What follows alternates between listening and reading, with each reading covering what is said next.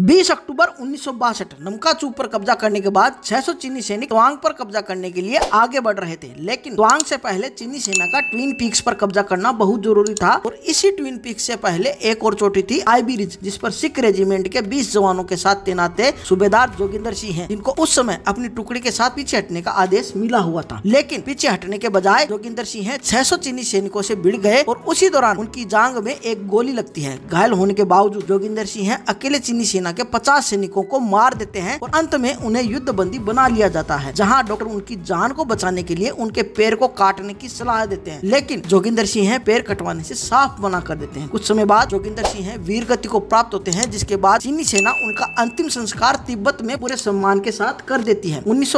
में जोगिंदर सिंह को मरणोपरांत परमवीर चक्र ऐसी सम्मानित किया गया और इसका पता जब चीनी सेना को लगता है तो वह जोगिंदर सिंह की अस्थियों को सम्मान भारत को सौंप देती है